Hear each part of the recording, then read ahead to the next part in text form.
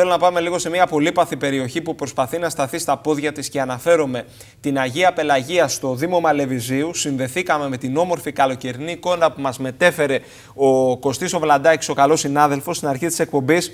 Αλλά πάμε λίγο να πιάσουμε και να εστιάσουμε σε δυσκολίες. Σε δυσκολίες ε, απόρρια της δύσκολης κατάστασης ε, και των καταστροφών εξαιτίας της θεομηνίας εκεί στο λιανεμπόριο της ε, περιοχής και προβλήματα τα οποία συνεχίζουν και υφίστανται. Βεβαίως και ο καιρός σε αυτό φαίνεται ότι δεν είναι σύμμαχος, αλλά εχθρός. Μάλιστα, σε αυτές τις προσπάθειες. Τη κακοκαιρίας. Της κακοκαιρίας και του γεγονότος ότι δεν είναι κατάλληλες συνθήκες για να βγουν ε, έξω και να διασκεδάσουν. Πάμε στην κυρία Μαρίνα Καρούζου, την πρόεδρο του Εμπορικού Συλλόγου Αγίας Πελαγίας. Την καλησπέρα μας. Πώς είστε, κυρία Καρούζου; Καλησπέρα κύριε Παναγιωτόπουλε, καλά ευχαριστώ. Για να μας μεταφέρετε λίγο το κλίμα. για την πρόσκληση. Δική μας η χαρά, δική μας χαρά. Για να μας μεταφέρετε λίγο το κλίμα το οποίο κυριαρχεί αυτή τη στιγμή. Από τη μία τουρίστες υπάρχουν, κόσμος κυκλοφορεί και από την άλλη μπαίνει στα καταστήματά σας.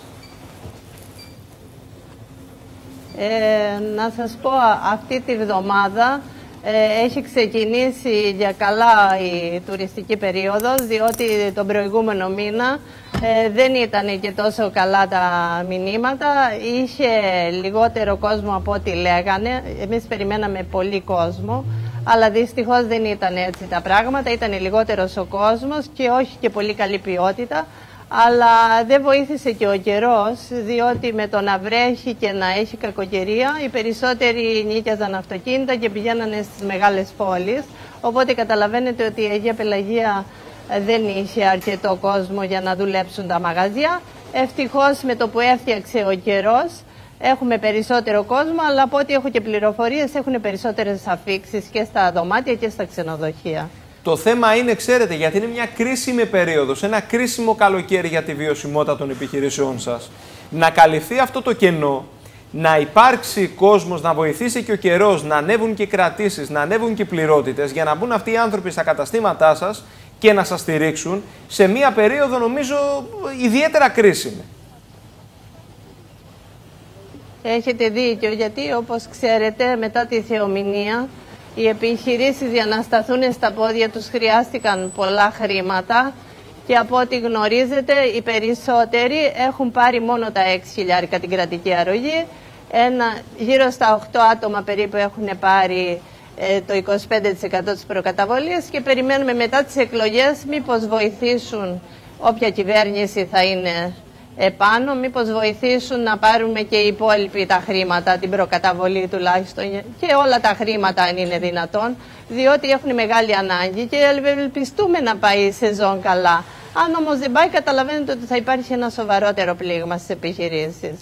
Πάντως, κυρία Καρούζου, το σημαντικό είναι ότι από τη δική σας την πλευρά υπάρχει η διάθεση ε, να εργαστείτε ε, παρά τις δυσκολίες που έχετε αντιμετωπίσει κι εσείς ε, καθ' όλη τη διάρκεια της χρονιάς. Σχεδόν όλες οι επιχειρήσεις, αν δεν κάνω λάθος, ε, έχουν ανοίξει.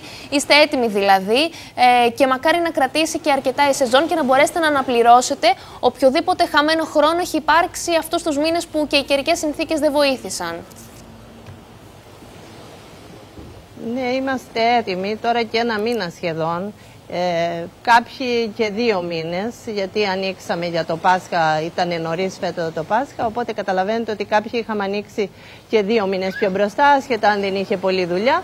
Τώρα όμως είναι όλες οι επιχειρήσεις ανοιχτές ε, και περιμένουν τον κόσμο. Ε, ευελπιστούμε να είναι μια καλή σεζόν. εντάξει, δεν περιμένουμε βέβαια τα περσινά δεδομένα γιατί υπήρχαν και άλλες καταστάσεις, αλλά τουλάχιστον μια καλή σεζόν για να μπορούμε να βγάλουμε τα έξοδά μας. Μάλιστα. Και όπως μας είπατε, οι περισσότεροι έχουν πάρει, ε, το, το, αυτό που έχουν πάρει είναι το ποσό των 6.000 ευρώ. Ναι, ναι, ακριβώς. Αυτό είναι. Η κρατική αρρωγή η οποία μετά θα συμψηφιστεί με το τελικό ποσό και θα αφαιρεθεί από, το, από την τελική αποζημίωση. Αλλά τουλάχιστον να μπορούσαμε να πάρουμε τα χρήματα για να μπορέσουν να κινηθούν και καλύτερα οι επιχειρήσεις.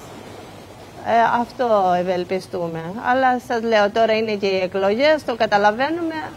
Μετά τις εκλογές όμως θα θέλαμε να, να τρέξουν πάνω στο πρόβλημά μας. Προεκλογικά, επειδή βρισκόμαστε, κυρία Καρούζου, σε αυτή την ε, περίοδο και βέβαια στις πρώτες εκλογές, ε, επειδή αρκετοί πέρασαν από την περιοχή, υπήρχε δέσμευση ότι θα στρέψουν το βλέμμα και σε εσάς να σας βοηθήσουν; Ε, εννοείται οικονομικά ή γενικά την περιοχή ε, τους επιχειρηματίες; Γιατί πολλοί πέρασαν, κάποιοι υποσχέθηκαν ότι θα κάνουν κάποια έργα στην περιοχή τα οποία δεν έχουν γίνει ακόμη από το κράτος ενώ και από τις αποζημιώσεις σας είπα ότι δεν έχουν ληφθεί όλα τα χρήματα, δεν έχουν ληφθεί τα χρήματα, οπότε καταλαβαίνετε ότι μείναμε στις υποσχέσεις περισσότερο. Ακριβώς αυτό το οποίο σας ε, ρώτησε η Εύης Σπανού είναι ότι υπήρξαν αρχικά την επόμενη μέρα της καταστροφής κάποιες δεσμεύσεις και υπάρχει και μία καθυστέρηση στην υλοποίησή ναι, τους. Ναι. Οπότε τώρα προεκλογικά και στις πρώτες εκλογές αλλά και τώρα οι πολιτικοί, μην εστιάσουμε ποιοι πέρασαν, τι δεσμεύτηκαν, τι είναι αυτό το οποίο σας είπαν; Ε, βασικά μας είπαν ότι θα βοηθήσουν για να πάρουν οι επιχειρήσεις τις αποζημιώσεις, γι' αυτό και κάναμε και σύντομα οι περισσότεροι τα χαρτιά μας, αλλά και για τα έργα ε, που θα γινόντουσαν ε, για το αντιπλημμυρικό. Ε, γι' αυτό το, γι αυτά δεν έγινε ουδεμία κίνηση. Δηλαδή μείναμε μόνο στις υποσχέσεις όσον αφορά τα έργα. Μάλιστα. Ε, έγινε μια ανάπλαση από το Δήμο στο κεντρικό δρόμο της Αγίας Πελαγίας. Ναι. Εκεί που έγινε η πλημμύρα, έγινε μια ανάπλαση και περιμένουμε να βγει και η μελέτη για το κανάλι για να δούμε τι θα, τι θα κάνουν εκεί πέρα. Ακόμη δεν έχει γίνει κάτι για το κανάλι, μόνο για το δρόμο. Μάλιστα, μάλιστα. Λοιπόν, σας ευχαριστούμε θερμά, κυρία Καρούζου. Καλή σεζόν να έχουμε, θα τα ξαναπούμε και πάλι. Να είστε Ευχαριστώ καλά. και εγώ, να είστε καλά. Σας ευχαριστούμε